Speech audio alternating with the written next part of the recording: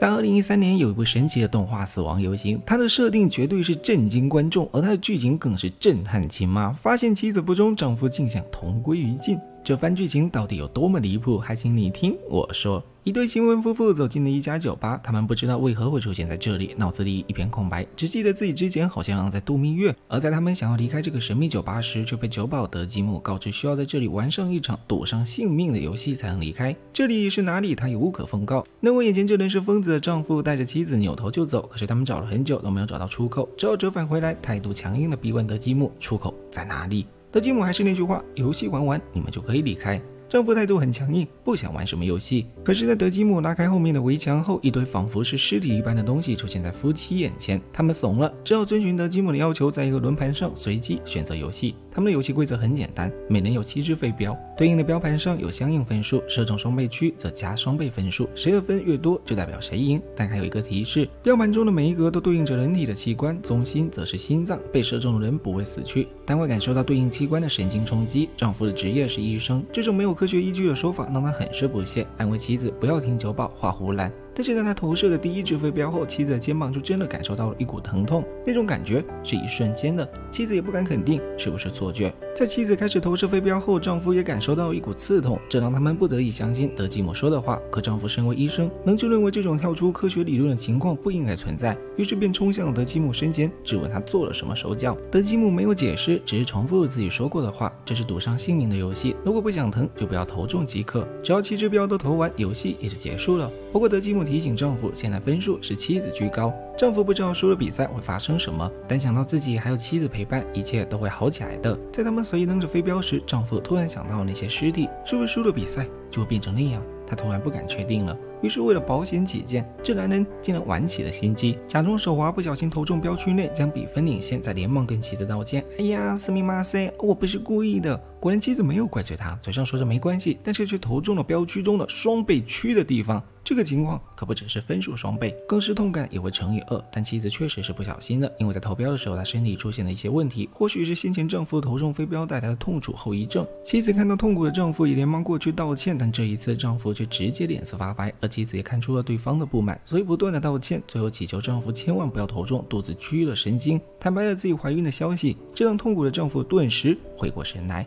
联想到自己妻子之前身体疲惫的状态，他也相信了妻子没有骗他。之前还一副暴力状态，却因为孩子的缘故而变得温柔无比。但在扔标的时候，却突然想到一些过去的事情。那是在新婚当天，他听到妻子的闺蜜在讲述一段话，没想到她那么好命，这场婚礼还真不错。据说洗脑工还是医生呢，一见到他可精明了。而从这段话中，丈夫竟然听出了妻子出轨过的消息。之前脑子一片空白，没有想起这件事。可在扔出飞镖那个时候，记忆却突然恢复。然后他生气地抢走妻子的最后一根飞镖，打算让她输掉这场比赛。结果妻子却连忙解释：“啊，那个不是我，他们说的他只是发音跟我名字一样而已啊，那是我另一个闺蜜呢。”这个解释不得不服。丈夫也在纠结自己是不是冤枉了妻子，于是急忙跑过去抓住妻子。结果飞镖却不小心扎到了妻子，让妻子勃然大怒，全都怪这个无聊的游戏。她抓着飞镖打算随便往外扔掉，却被丈夫误以为妻子在躲夺。标想要赢下比赛，结果一拉导致妻子正中靶心。而在扔出去的那一刻，妻子的过往回忆也终于彻底恢复。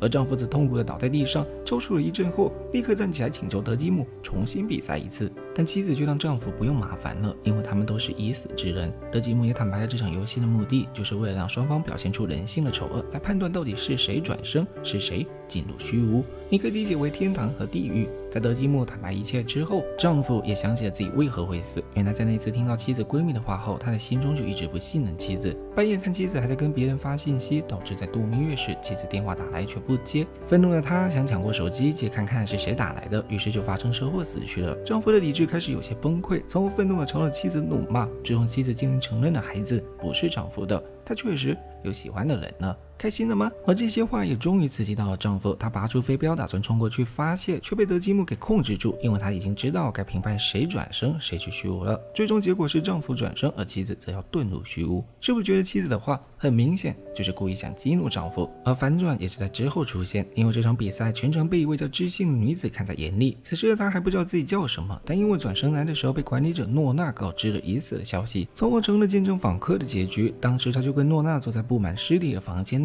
只不过那都是人偶罢了。那是德基姆的恶趣味，就是用来吓人、套娃，让他们以为不玩游戏就会死，因为记忆被封锁，来的人都不知道自己已经死了。恐惧会让他们逐渐产生人性的黑暗，就像之前政府担心输掉比赛是不是会变成尸体，而智信认为德基姆的判决有误，因为。他认为妻子肚子里的孩子应该是丈夫的，这只是他的感觉。最后那些话，他认为是妻子为了保护丈夫，在明知自己已死，要跟丈夫永远分开后所做的决定。因为爱情而没有感情的德基姆不理解知性说的话。作为裁判者，他有着死者生前被剪辑过的记忆，可以十分确定妻子是真的出轨了。但是他的表情似乎很痛苦。知性认为妻子一定有什么难言之隐。换言说，如果没有听到闺蜜那些话，没有这些误会，是不是可以理解为他们本应该幸福？而因为知性的话，这对对夫妻的命运却疑似逆转判定。诺娜警告德基姆不要漏掉人类任何感情从细微表情流露出来的时候，任何人都会犯错。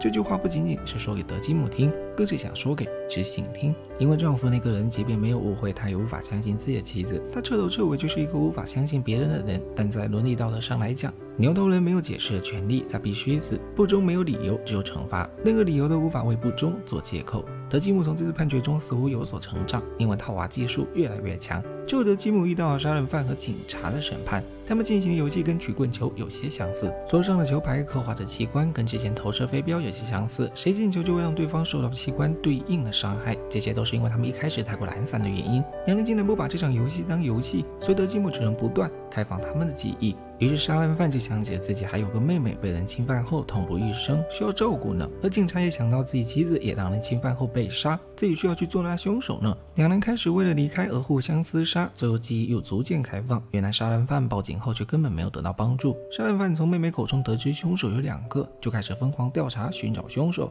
而警察也是因为自己同事竟然不帮助自己，妻子的死就这样没有后文。于是警察开始化身正义的审判，自己私下处决各种犯罪人士，各种雷同相。似的记忆不断出现，两人竟然有种惺惺相惜的感觉。结果德基姆继续套娃，更刺激的记忆继续出现。有天，警察要去处决的犯人正好就是杀人犯要找的侵犯他妹妹的凶手。结果杀人犯捷足先登，解决了对方。而警察进来的时候，却让杀人犯误以为是同伙，于是便做掉了对方，而自己也被反杀。他们死的原因就是如此荒诞。在知道自己都死了之后，什么复仇，什么照顾妹妹，都是扯淡了。两人本来还想逃出去的念想，瞬间消失了。没想到德吉姆继续逃亡。给出了一个绝对的真相：原来妹妹口中说的两名罪犯，其中一个就是警察。他亲眼目睹杀人犯的妹妹被人侵犯而不阻止，目的就是为了收集证据。而这个真相让杀人犯直接不能接受了。德吉姆还添油加醋，又是给刀，又是嘴炮套娃，结果两人又干了起来，就像上一对夫妻一样吵了起来。德吉姆的目的就是要看到他们隐藏在深处的人性丑陋。最后的最后，没有给出他们具体的裁判结果，不过从他们互相撕逼后的场景就可以得出，应该是虚无了。因为警察的认知就是既然无法改变世界，那就改变自己。既然无法陪着妹妹，就要替妹妹复仇到底。而他的话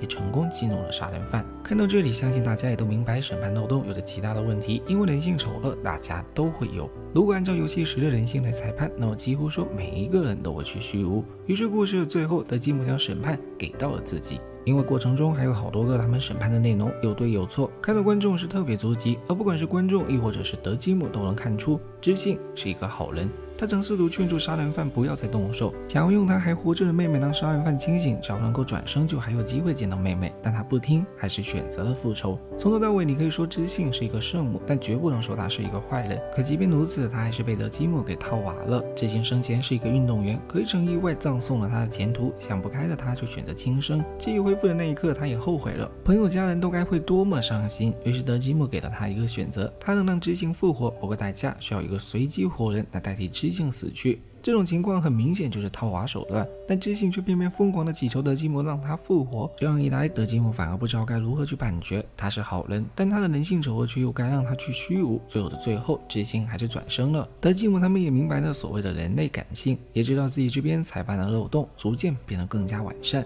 以上是动画第一、第二以及第八到第十二集的内容，中途还有出现好几个裁判的内容。几乎都是被德基木套娃逼出人性丑恶，故事各种反转让人根本始料未及。在你总以为判决有误，亦或者判决正确，都会给你一个真实的解释，让观众会因此而撕逼不断。所以这部动画在探讨人性方面，你很难说它错误，也很难说它正确。自始至终就没有一个评判标准，如果说有，那就在游戏中；如果伤害人，就必会去虚无。另外，如果你想喷德基姆这个组织瞎搞，那么你或许压根就没有看懂这部动画的真谛。因为虽然他们有着死者的生前记忆，但是他们并不是全知全能的神，他们也是人偶。这个在故事中也有交代。最后的最后，德基姆有了人性，他的转变是所有人有目共睹。看完后，你真的可以发现，就是治愈变成治愈，而改变他的人正是知性，算是后来的死者可以得到更好的优待吧。但仔细一想，就毫无海贼王有人吐槽，原来是几个官富二代出来冒险的故事啊！而这个故事总有种让人像是这个审判机构的内部改造。总之就是强烈推荐。我是少年，因为明年又开了九七的男孩。如果喜欢我的解说，请点个关注，能不能给我视频点赞转发支持一下？这对我真的很重要，拜托拜托。